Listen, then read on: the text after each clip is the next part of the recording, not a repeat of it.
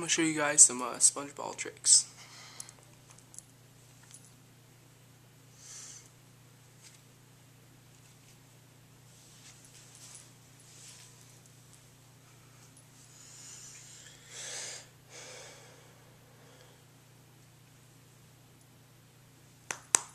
Which hand's it in?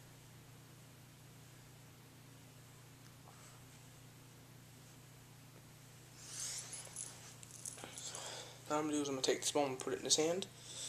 And take this ball and I'm gonna give it to you. Alright?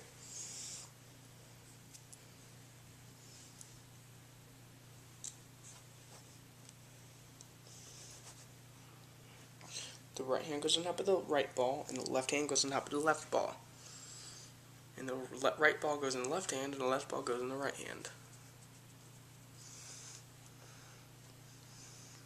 The right hand goes top of the right ball, and the left hand goes top of the left ball. The right ball goes in the left hand, the left ball goes in the right hand. The right hand goes top of the right ball, and the left hand goes top of the left ball. The right ball goes in the left hand, and the left ball goes in the right hand, right?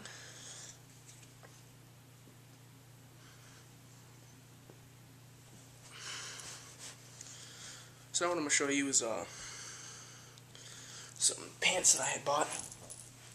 And uh, they do is uh, they let stuff move through the fabric. So if I take this ball that I have in my hands and I just press, it comes right through my fabric.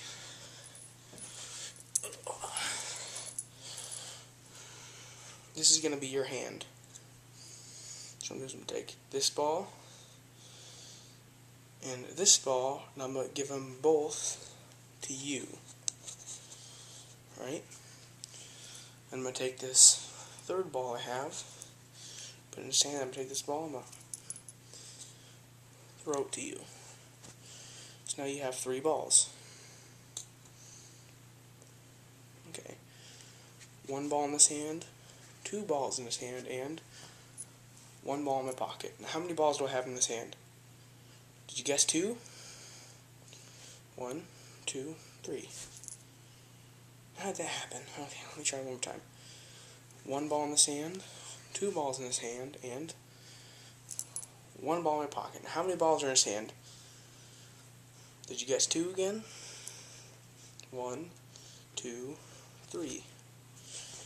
How does this keep happening? Okay, let me try one more time. one ball in his hand, two balls in his hand, and one ball in my pocket. How many balls are in his hand? Did you guess two? I give up.